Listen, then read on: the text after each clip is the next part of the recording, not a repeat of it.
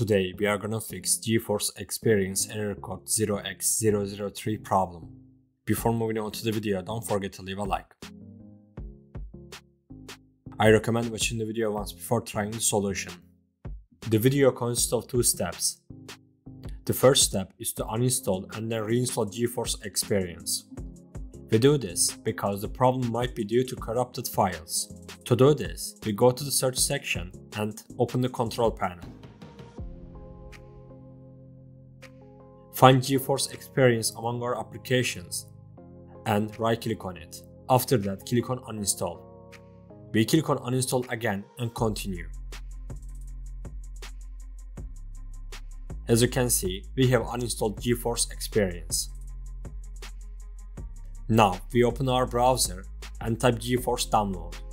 After that, we open the NVIDIA GeForce Experience website and click on download now.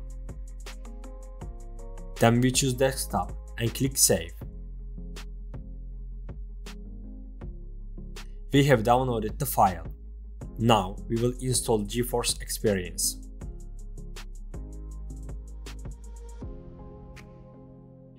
Click agree and install and proceed.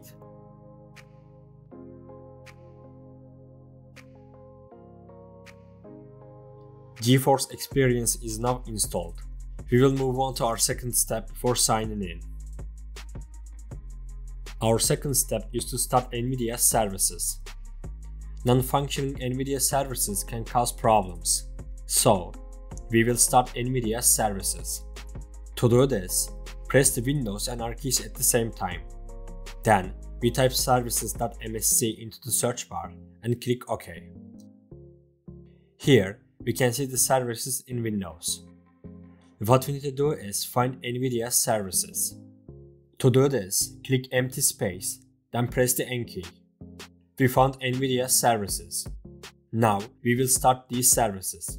To do this, right click on the service and then click on properties. Then set the startup type to automatic. And if available, click start.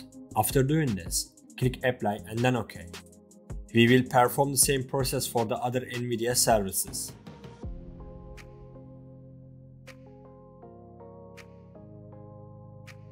We have started the NVIDIA services. Now you can sign into your account and check if the problem is solved or not. We have come to the end of the video. I hope this video was useful for you. If the video helped you, don't forget to like the video. You can also subscribe to my channel to support me.